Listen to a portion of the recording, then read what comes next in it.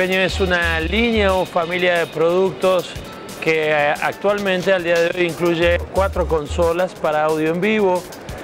Introducimos por primera vez en el 2005 lo que es el uso de plugins, algo que hasta ese momento estaba reservado solo para estudios de grabación. Entonces podemos grabar o reproducir desde Pro Tools sin necesidad de interfaces y utilizando los mismos plugins que se utilizan en Pro Tools. No importa si hoy hicimos un evento en un estadio y mañana vamos a trabajar a un foro pequeño y estamos trabajando en distintas plataformas, todos nuestros sistemas manejan la misma calidad de audio.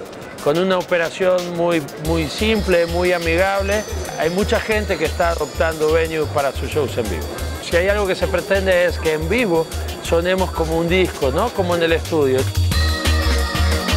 La mayoría de los artistas de renombre o muchos de ellos y muchos de los DVDs que hoy vemos en las tiendas se han grabado o se han mezclado con Venue.